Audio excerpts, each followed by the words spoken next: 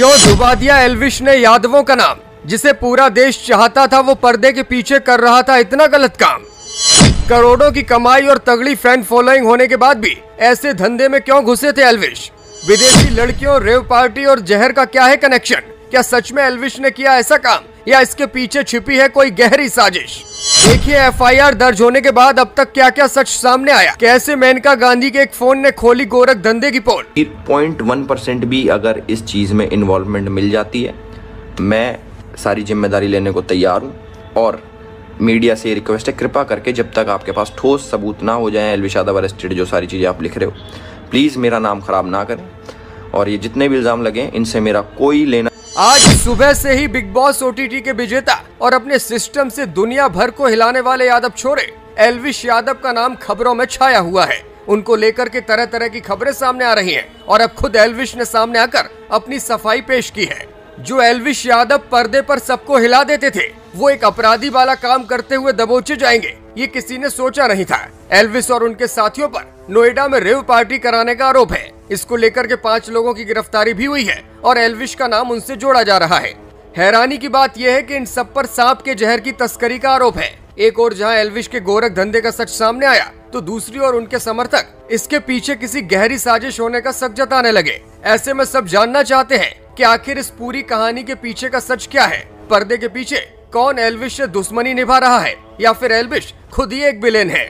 चलिए पहले आपको इस पूरे केस के बारे में बताते हैं। और फिर बताएँगे कि एलविश को लेकर किए गए खुलासों में मेनका गांधी की क्या भूमिका है। नोएडा के सेक्टर उनचास में रेव पार्टी हो रही थी, जिस पर पुलिस पहुँची और पाँच लोगों को गिरफ़्तार किया गया। हालाँकि घटना के वक्त एलविश वहाँ मौजूद नहीं थे। इसके बाद एफआईआर दर्ज हुई, जिसमें उनका भी नाम शामिल है। मौके से पुलिस को कई सांप बरामद हुए हैं। पुलिस के मुताबिक आरोपियों के पास से 20 मिलीलीटर जहर और नौ ज़िंदा सांप मिले। इसमें पाँच कोबरा, एक अजगर, दो दुमुही सांप और एक रेट स्नेक, यानी घोड़ा पछाड़ शामिल है। वैसे तो ये सभी खतरनाक सांप हैं, लेकिन आरोपी इनका इस्तेमाल नशे के लिए करते थे।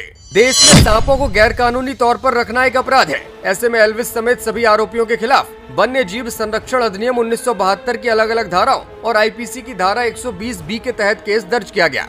इस पूरे मामले के खुलासे को लेकर बीजेपी सांसद मेनका गांधी की संस्था पीएफए ने अहम भूमिका निभाई है। मेनका गांधी की संस्था ने नोएडा पुलिस को जानकारी दी थी और जिस फार्म हाउस पर ये पार्टी चल रही थी, उसका वीडियो शेयर किया था।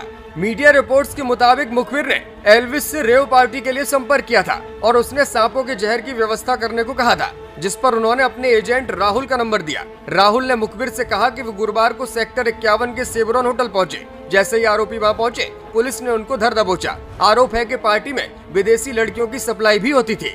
नोएडा में रेव पार्टी कराने और उसमें जहर के इस्तेमाल का आरोप जैसे ही एलविश पर लगा। मेनका गांधी ने भी सामने आकर अपनी आवाज़ बुलंद कर दी। उन्होंने एलविश को तत्काल गिरफ़्तार किए जाने की मांग उठाई है। मेनका गांधी ने यहाँ तक कहा कि इस पूरे मामले में एलविश यादव ही किंगपन है। उसे बक्सा नहीं जाना चाहिए। ये पूरा खुलासा एक स्टिंग ऑपरेशन ऐसी हुआ है, जिसे मेनका गांधी के एनजीओ से जुड़े लोगों ने ही किया था। फ़िलहाल नोएडा पुलिस एलविश यादव को लेकर के अपनी जाँच कर रही है। एलविश यादव ने खुद सामने आकर जिस तरह से सफ़ाई दी है और कहा है कि किसी भी तरह की जाँच में वो पूरा सहयोग करने के लिए तैयार है, उनके फैंस में फिर से हिम्मत दौड़ गई है। फैंस का कहना है कि एलविस को किसी साजिश के तहत फंसाया जा रहा है। जिस व्यक्ति के पास खुद की इतनी तगड़ी फ़ैन फॉलोइंग हो, जिसके पास पैसों का भंडार हो, वो आखिर ऐसे गलत काम क्यों करेगा?